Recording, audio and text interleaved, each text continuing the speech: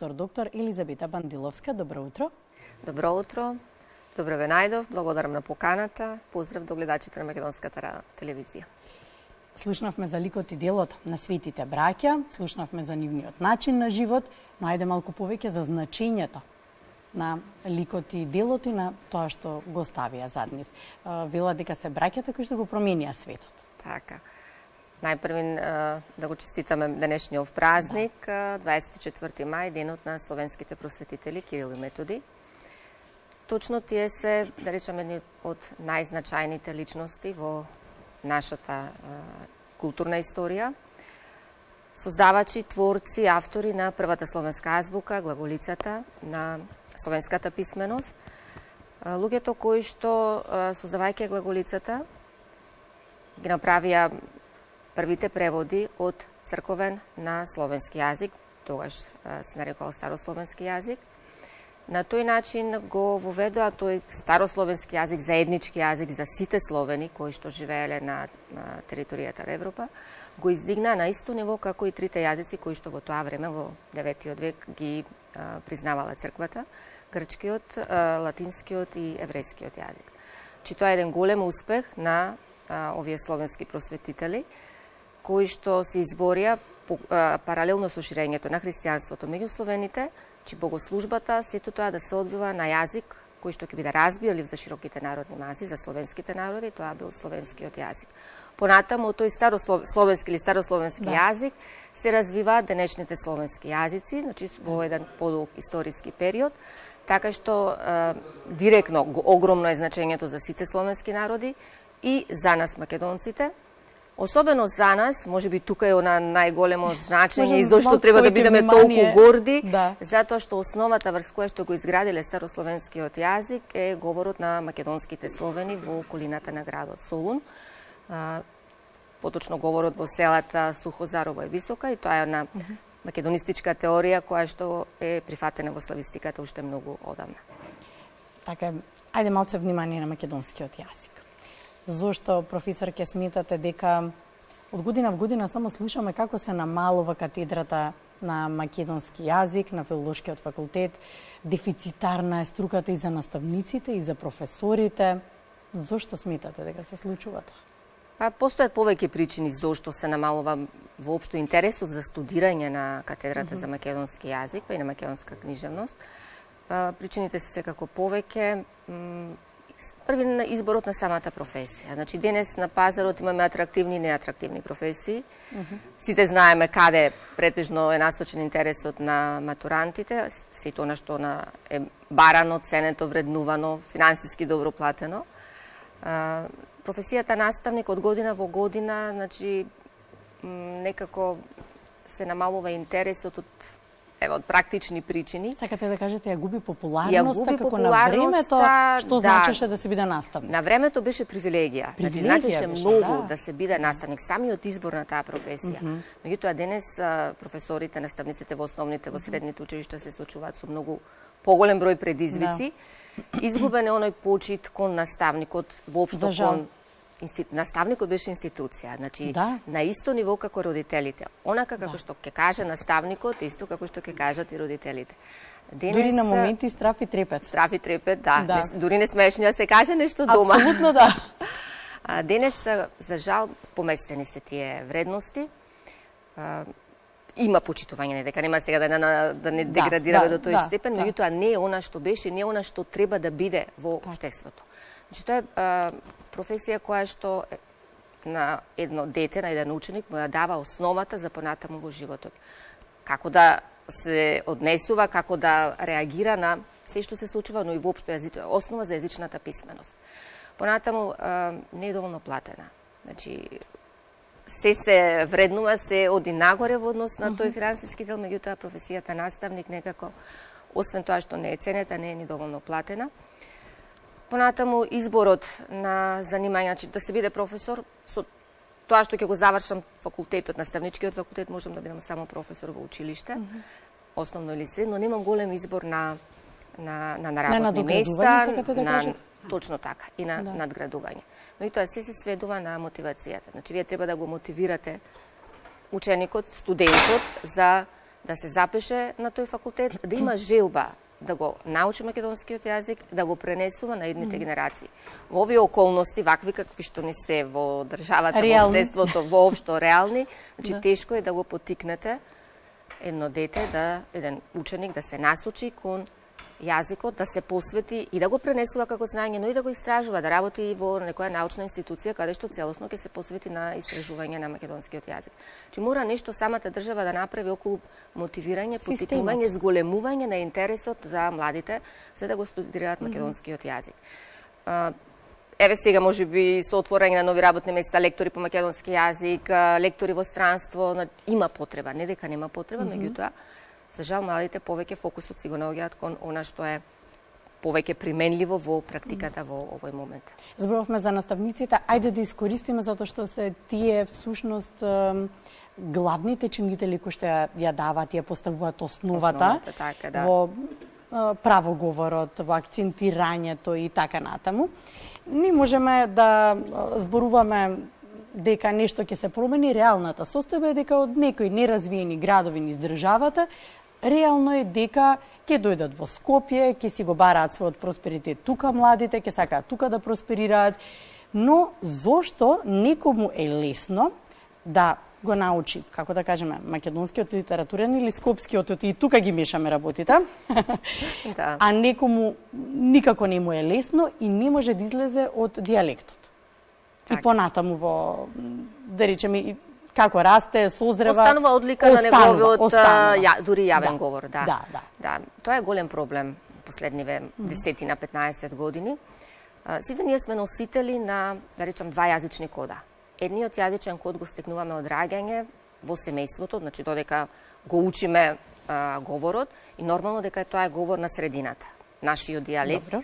говор што ни го пренесуваат родителите, секако дека е многу поразличен од стандардниот јазик, значи од вториот јазичен код кој што ние го стекнуваме со нашето образование. Порано многу повеќе се внимаваше и во училиштата да се зборува и да се применува токму тој македонски стандарден јазик. За жал денеска се повеќе некако паѓа тоа усвојување на стандардниот македонски јазик Зошто? Кога велам го мешаме го мешаме, точно, го мешаме со да. скопскиот говор се наметнува како говор со престиж.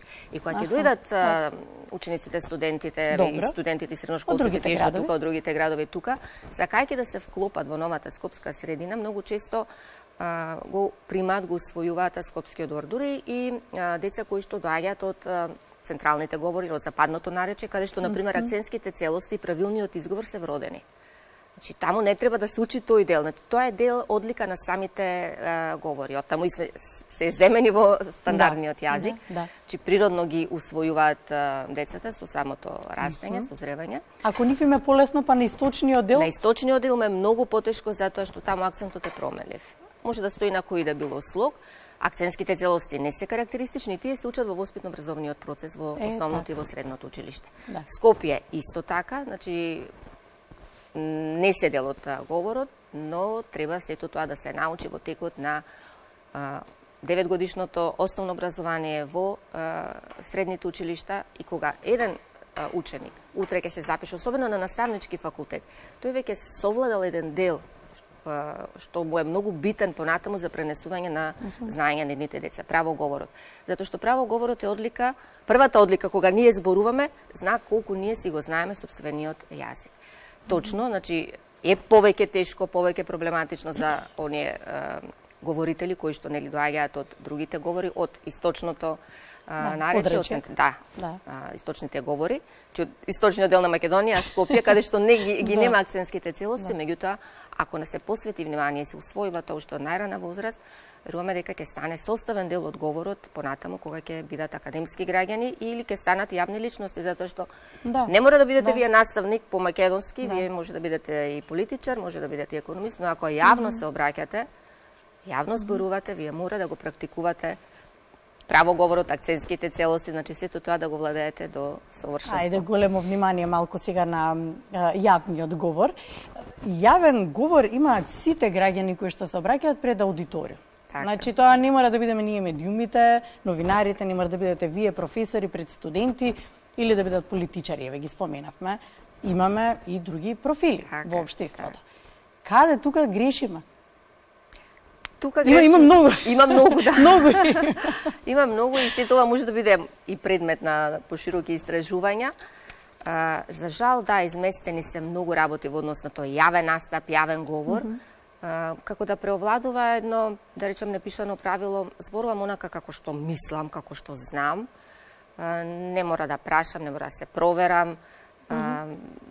без разлика, значи јас сум завршил економски или правен или од техничките факултети, нормално дека нели во текот на студирањето не се учи македон, може би се учи македонскиот јазик во еден семестар, може би не, може би воопшто, значи не воопшто не Добре. се а, студира тој делот но а, тоа не значи дека ние не треба да зборуваме на правилен македонски јазик. Правилен на стандарден јазик да се почитува нормата. Зошто? Затоа што секој што ќе излезе јавно, ќе зборува, дали ќе биде тоа медиум, дали ќе биде јавен настав, mm -hmm. па и реклама кога се пушта на телевизија. Да. Значи, оно што гледа од другата страна не ја прима само содржината на информацијата, го прима, ја прима и формата. Че да, го слушам, да оној како да. зборува, да. што зборува, особено младите знаат да се поистоветат со тоа што ќе го слушнат. Значи ако го слушнат зборот mm -hmm. погрешно, како што еве некој два примери на пример пакет и машина кои што не можете да ги промените во свеста еве и за акцентирањето и за акцентирањето. Значи тешко е потоа вие на студент од 18 20 години да му го промените тоа во свеста значи влегува во меморијата од рана возраст. Да. останува треба голем напор самосвест самоконтрола да. да. да внимавам, но сето тоа, на сето тоа треба да му предходи и еден вид проучување, анализирање, каков е акцентот, да проверам каде грешам, зошто да. грешам. Значи, многу работа, дополнителна, отпосле, значи, како возрастен човек, за да можам јас да го усовршам сето тоа до а, онака како што го бара нормата. А кога станува збор за наставник по македонски јазик, тоа треба, значи, да биде безпрекорно. Безпрекорно, безпрекорно не сме да наставник по да. македонски јазик да ги греши токму овие форми во однос на Ке се согласите со мене дека ова така поради тоа што нема коректив? Нема коректив, Некои нема јавни да. правила, норми, коректив на јавен говор. имаше лектори, лекторски школи, mm -hmm. значи секој што да. требаше да се појави јавно поминуваше низ некој таков филтер, mm -hmm. да речам, на подготовка, каде што првото нешто на што се укажува, нели, начинот на кој треба да се обрати, на кој треба да зборува, како да зборува, особено во однос на правоговорот. Значи, јавниот говор, јавната комуникација, обраќањето, сето тоа е поврзано со правоговор. Значи, вие мора совршено да знаете, да ги практикувате да. акцентските целости, за да може, затоа што на тој начин пренесувате знања да. и за другите, особено за младите.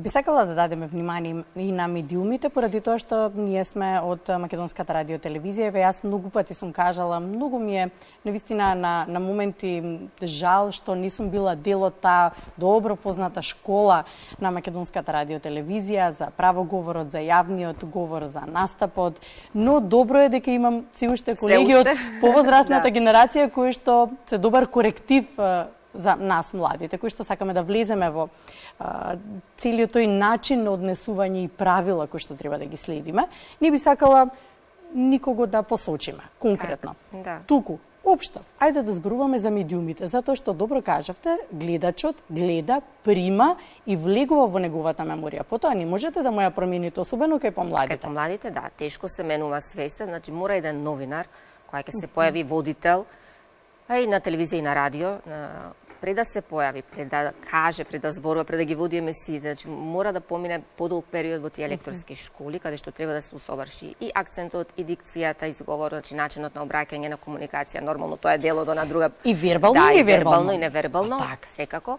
Да. Затоа што она што се прима на, особено на рана возраст, влегува во да. свеста и тешко се менува. Не е битно јас затоа што сите ние може да зборуваме, еве, сте ме поканиле мене, утре ќе поканите друг. Кој да е, може да, да зборува на својот дијалект, на својот говор.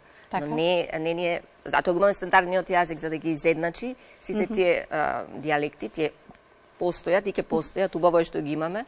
Меѓутоа мора да се знае каде му е местото на дијалектот, на говорот, на жаргонот, а каде се применува стандардниот јазик. Медиумите заедно со училиштата, особено денес, Значи, да. кога се е поврзано со медиуми, со комуникација електронска, каква е да. И со социјалните, и со социјалните мрежи, значи имаат големо, големо влијание во однос на езичната писменост. Значи, Може тоа влијание до сега е поголем во поголема мера е негативно отколку позитивно, па може да работиме на тоа да биде во позитивна насока. Ајде да работиме, ајде да посочиме Да. конкретно каде сметате дека е најголемата грешка. Изговорот. Изговорот. Право говорот. При обраќање, значи во она што го слушаме, најбитен е изговорот. Акцентот, акцентирањето, значи да се внимава, Точно Да. се знае каде паѓа акцентот кај словенски и македонските зборови, македонски Да. оние што водат потекло од словенскиот јазик. Кога ги имаме тугите зборови, имаме дел од нив кои што се приспособени според а, нашиот а, акцентски систем и правилата за акцентирање, значи мора многу да се внимава во однос на зборувањето и акцент. Значи треба буквално некаков вид обука во однос на правоговорот. Во недостиг на такво нешто како обука за сите, да речеме, во пелата, може би најдобро е да подсетиме на само свеста, неколку пати ја споменав. Неколку пати ја споменавме, да, меѓутоа е само свеста кај учениците се гради. Уште од прво оделение се гради и тука наставникот е тој клучен фактор кој што има битна улога во градењето на самосвеста. Ако наставникот ги води во тој процес онака како што треба. Да. Веќе децата се во тој период, еве и во градинка, веќе зборуваме за ова улога на наставникот и во градинките. Значи затоа што тука Добро. го имаме само говорот. Да, убаво дека ги споминавте Да. и предучилишните И предучилишните установи. Да. Децата се како сунгер. Буквално го примаат и знаат често пати да речат така ми рече наставничката. Значи, јас можам да речам дома да не е тој избор точен, поинаку Да. не, така рече наставничката. И треба да се искористи тој момент, значи на- наставникот е еден вид слика, идеал кој што го следат mm -hmm. учениците. И токму порано, да речем, затоа наставниците, поинаков беше ми се чини нивниот пристап малку, и она што рековме, почит, влијание, почитување, и сето тоа а, даде една поинаква перцепција како треба а, ученикот да се однесува, како треба да го прима она што го добива како информација од наставникот. Денеска тој однос е малку нарушен. Значи, и наставникот, и наставниците, зборувам претежно тука мислам на наставниците по македонски јазик, бидејќи тие се тие што имаат оваа клучна улога, треба повеќе да обрнат внимание токму на правоговорот и на делот од јазикот. Кога зборуваме јазик, мислиме на граматиката, затоа што литературата е нешто сосема друго. И тоа е за учениците нешто што лесно ги привлекува Да. и можат полесно да го усвојат. Меѓутоа на граматиката треба голема, голема посвет, посветеност од најрана возраст. Ајде да зборуваме за нешто што е многу значајно. Веќе е изготвен, усвоен и треба само да се подпише процедура, во собрание, а тоа е законот за употреба на македонскиот јазик. Кога веќе ја имаме формат, можеме веќе да зборуваме Така. што е запишано и што предвидува всушност овој закон. Законот е всушност значи, и до денес, да речеме, се уште не имаме постоечки закон за употребата на македонскиот јазик, овој нов предлог, се уште го нарекуваме предлог закон додека не биде усвоен, е еден вид надградба и е, на, на постоечкиот.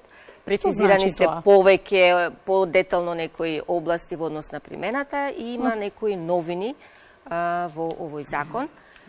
Ајде најпрвен да тргнеме со она што, нели, во однос, зборувавме за правоговорот, Да. во однос на јавната комуникација, устната комуникација, во пишаната комуникација, исто така постои страшен проблем околу текстовите кои што јавно се објавуваат, што значи дека и предходно ни во стариот закон задолжително беше лекторирањето, Сега, исто така, но секоја институција, јавна, научна, образовна, во органите на судската, извршната, законодавната власт, град Скопје, значи, во министерствата, секаде, апсолутно секаде, се што е јавно, институција, Така, установа, треба да бидат вработени лектори, Добро. кои што ќе лекторираат се што оди јавно.